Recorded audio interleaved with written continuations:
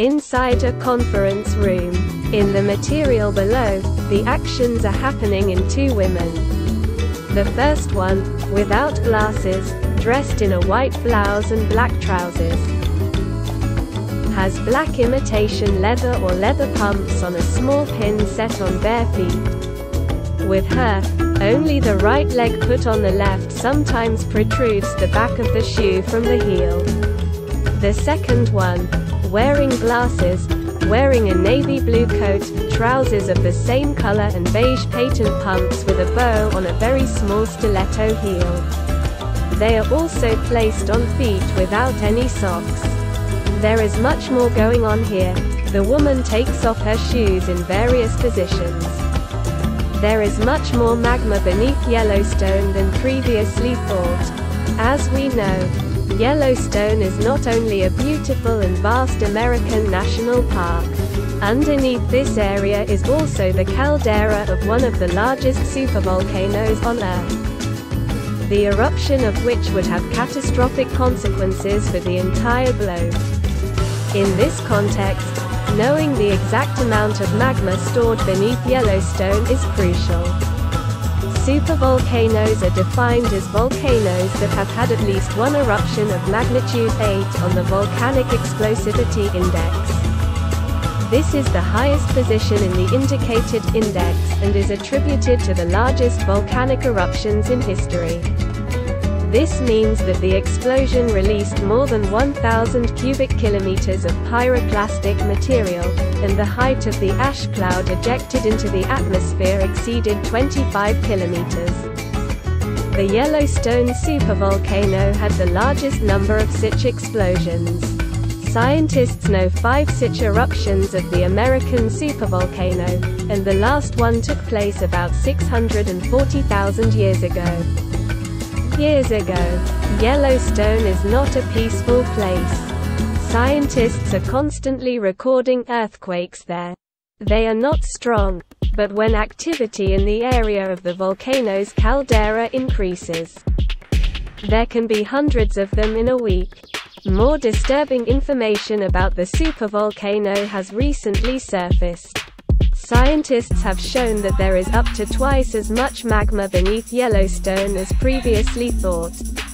Does this mean the volcano is about to erupt? This is not known. Predicting an eruption is extremely difficult. However, if a supervolcano were to erupt, the effects would be catastrophic. But scientists reassure and say that there is no reason to worry. Determining how much magma has accumulated beneath Yellowstone is important because it may, in part, determine how imminent an eruption of this supervolcano is. By the way, it is quite often said in its context that, in terms of cyclicity and the frequency with which its eruptions occur, this volcano is a bit late. But how can you determine exactly how much magma is there? One of the imaging methods that can be used is the so-called seismic tomography. It uses ground vibrations, or seismic waves, to create a three-dimensional image of what is happening beneath the Earth's surface.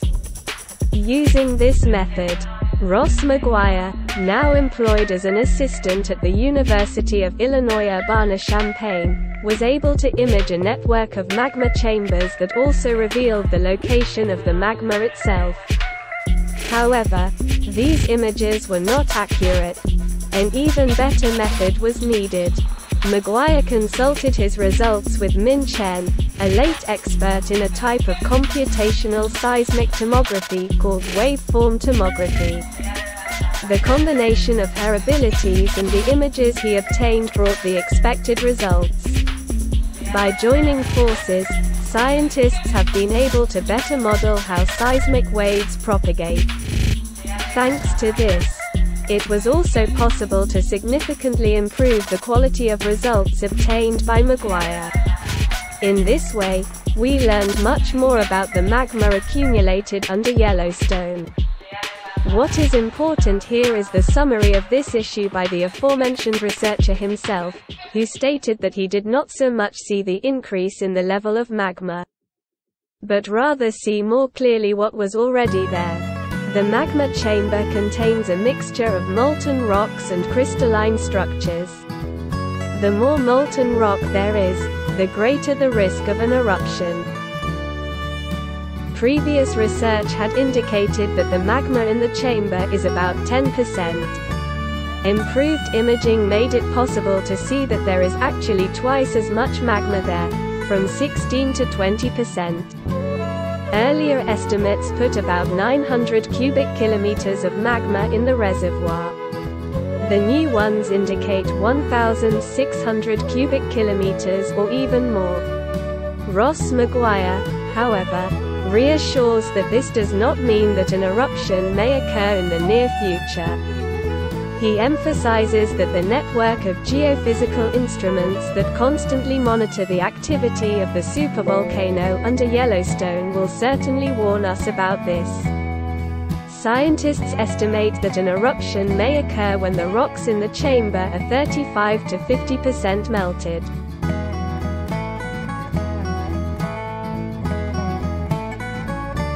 Our ancestors have been wearing bear skins for 320,000 years. Years ago, according to research by German archaeologists, our ancestors are already 320,000 years old. Years ago, they hunted cave bears to obtain their skins, which served them as clothing. This is evidenced by the precise cuts on the bones found in one of the caves in Germany. New research shows that our ancestors in Northern Europe were able to survive harsh winter conditions thanks in part to warm bear skins. As we know, our prehistoric ancestors hunted various species of animals. However, not always the main reason for this was the desire to obtain and eat their meat. Bears can serve as an example here.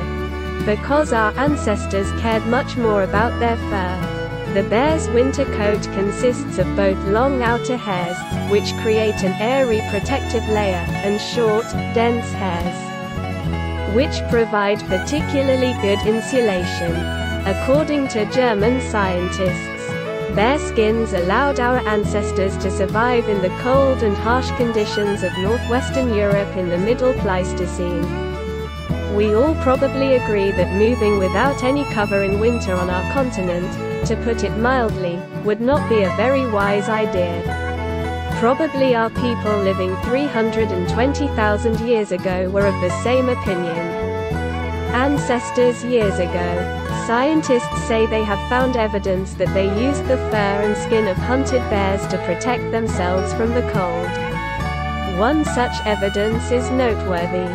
Well, at the archaeological site of Schöningen in Germany, Dating back to the Stone Age, traces of cuts were noticed in the vicinity of the paws of bear remains found there. Interestingly, similar evidence has also been found elsewhere in Europe, but the ones from Germany are by far the oldest, dating back approximately 320,000 years ago.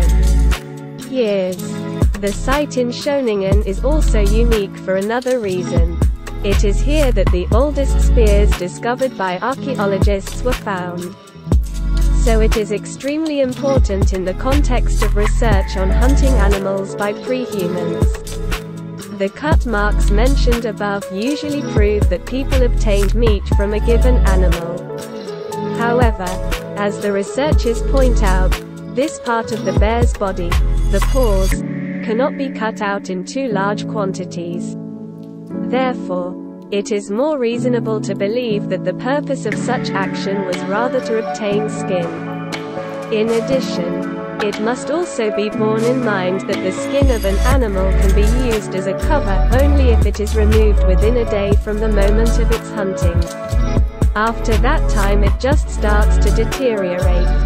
So our ancestors couldn't just look around for dead animals, because their skins were simply useless to them. An additional proof that the animals found in Schöningen were hunted is the fact that only bones and teeth of adult bears were found at this site. At the site in Schöningen, various types of tools were also found, the use of which was usually associated with the preparation of animal skins, such as scrapers. And this, in turn, further strengthens the hypothesis that bears were hunted for their skins hundreds of thousands of years ago.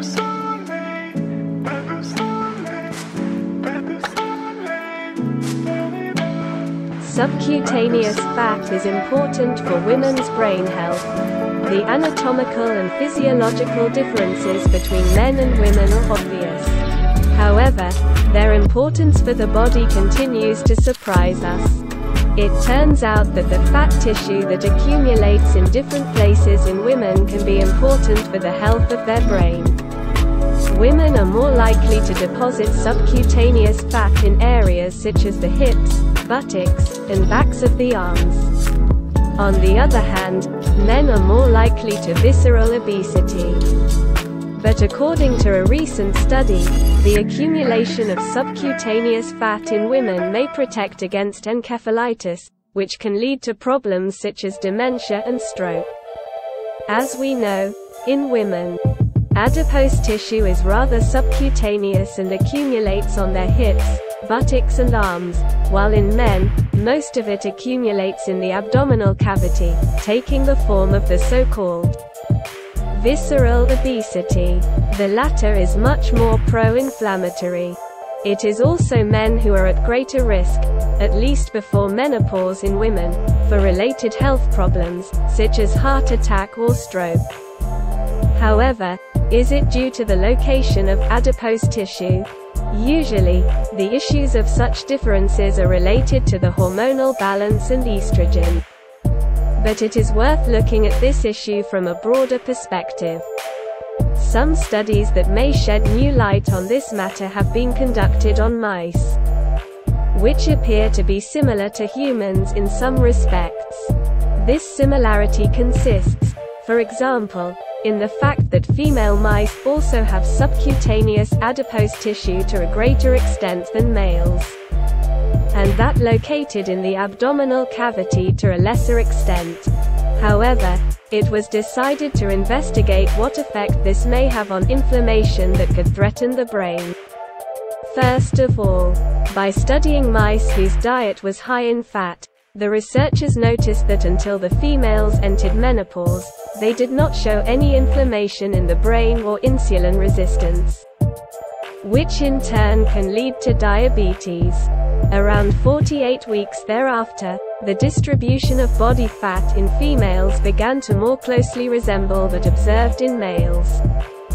Then it was decided to undergo a liposuction-like procedure for the females to remove subcutaneous fat. The hormonal balance of the mice was not interfered with in any way. The result was surprising, as these females began to see increased levels of inflammation in the brain, in a manner comparable to that of males. At the same time, their levels of visceral obesity increased, as if the fat had been redirected there. However, the results in mice on a low-fat diet were dramatically different. In their case, the removal of subcutaneous fat early in life resulted in only a slight increase in abdominal fat. However, there was no significant effect on the health of their brains. It is worth noting that Alexis M. Stranahan from the Medical College at Augusta University, who has been conducting research in this respect for years, noticed that in males, Visceral obesity is pro-inflammatory in relation to the brain, while subcutaneous tissue transplantation contributes to reducing this risk. So this is another area where women probably have an advantage over men.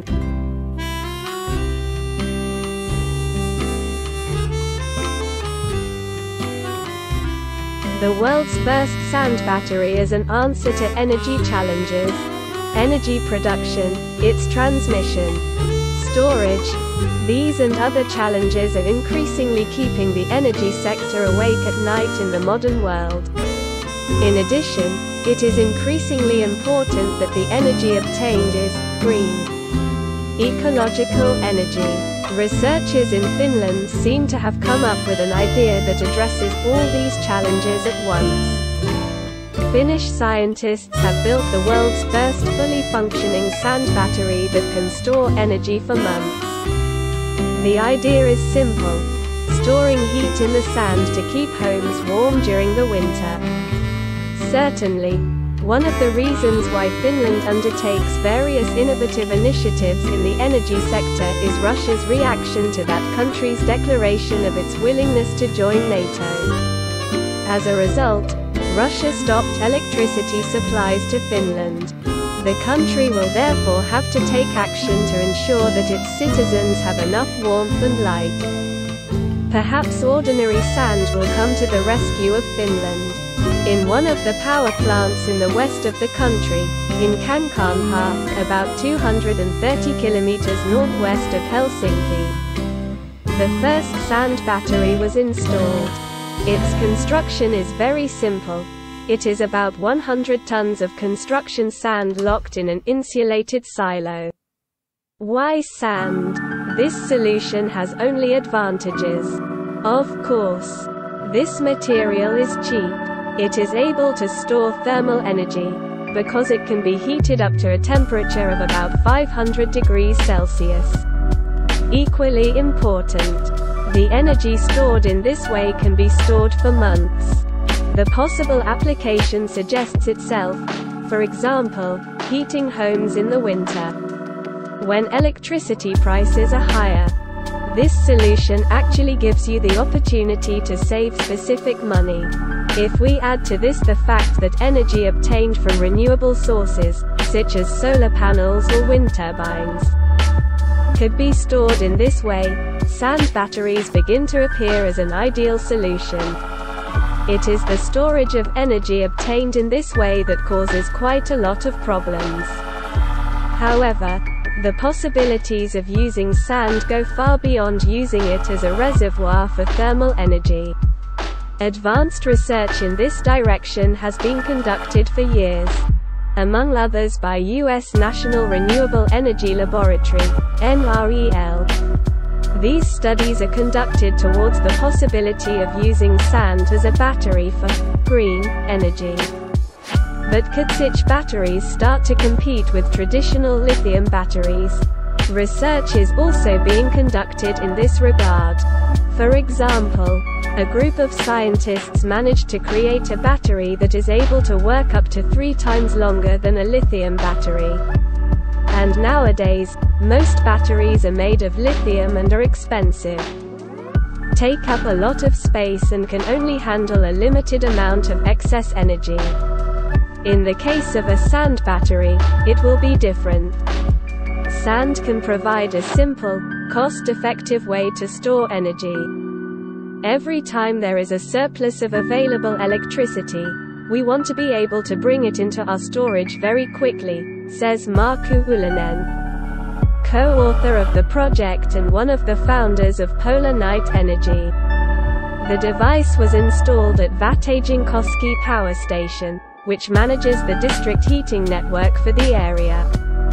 The assumptions of Polar Night Energy look something like this. In the summer months, when energy is cheaper, the sand in the battery is to be heated with hot air to 500 degrees Celsius. Sand is a very effective medium for storing heat and loses little over time. The authors of the invention claim that the device can keep sand at a temperature of 500 degrees Celsius for several months.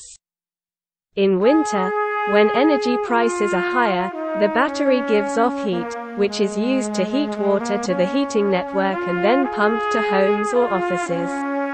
Unfortunately, converting heat into electricity is not very efficient, but long-term storage of energy in the form of heat is also a great opportunity for industry. Where the heat needed for the production of pharmaceuticals or textiles is obtained from burning fossil fuels.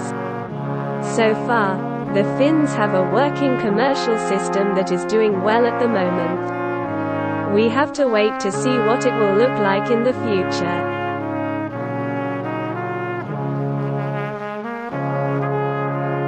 Scientists suggest that ancient bacteria may still be lurking beneath the Martian surface. In new experiments, Scientists simulated the Martian environment to see how long dried and frozen bacteria could survive in these harsh conditions.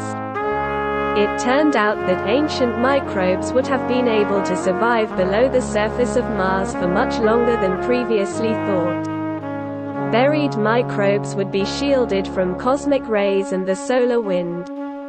This means that evidence of life may still be dormant and buried beneath the Martian surface. In research led by Professor Michael Daly was attended by Brian Hoffman and Ajay Sharma of Northwestern University. Their findings suggest that if life ever evolved on Mars, its biological remains could be revealed in future missions, including ExoMars and the Mars Life Explorer. In this second mission, the rover would be equipped with drills to extract materials from a depth of up to 2 meters below the planet's surface. Previously, scientists had proven that certain strains of bacteria could survive on Mars despite the planet's harsh environment. Thus, there is a risk that future astronauts and space tourists could inadvertently contaminate Mars with terrestrial bacteria. We concluded that terrestrial contamination on Mars would be essentially permanent, over time periods extending to thousands of years, says Hoffman. This could complicate scientific efforts to find life on Mars. In turn, if microbes evolved on Mars, they may be able to survive to this day. This means that samples from the red planet can contaminate the Earth, he explains. The environment on Mars is harsh and unforgiving. It is dry and frosty, with temperatures reaching as low as minus 63 degrees Celsius in mid-latitudes. Mars is also constantly bombarded by cosmic rays. To investigate whether life could survive under these conditions, Daly, Hoffman and their colleagues first set the limits of survival of microorganisms under ionizing radiation. They then exposed six types of terrestrial bacteria and fungi to a simulated Martian surface, frozen and dry, and exposed them to radiation that mimicked cosmic rays. Researchers have determined that some terrestrial microorganisms could potentially survive on Mars on timescales of hundreds of millions of years. Scientists have found that one hardy microorganism, Deinococcus radiodurans, sometimes called the Conan bacteria, is particularly well suited to surviving the harsh conditions of Mars. In cutting-edge experiments, the bacterium survived massive doses of radiation in a freezing, sterile environment. The team also assumed that bacteria could be present beneath the Martian surface. To do this, he subjected the microbes to much lower doses of radiation than those found on the surface of the planet. It turned out that bacteria can withstand radiation and survive under the surface of the red planet for up to 1.5 million years buried at a depth of only 10 centimeters. If the bacteria were at a depth of 10 meters, the radiation would not harm them even for 280 million years. This means that if a microbe, similar to the Conan bacteria, Evolved when water was last flowing on Mars, its living remains may still be dormant deep below the Martian surface. While D. Radiodurans buried beneath the Martian surface could not survive dormant for the estimated 2 to 2.5 billion years since liquid water disappeared from the red planet. Martian environments are regularly altered by meteor impacts, explains Daly. We suggest that intermittent melting could allow intermittent repopulation. In addition, if Martian life ever existed, its macromolecules and viruses would have survived much, much longer, explains the scientist.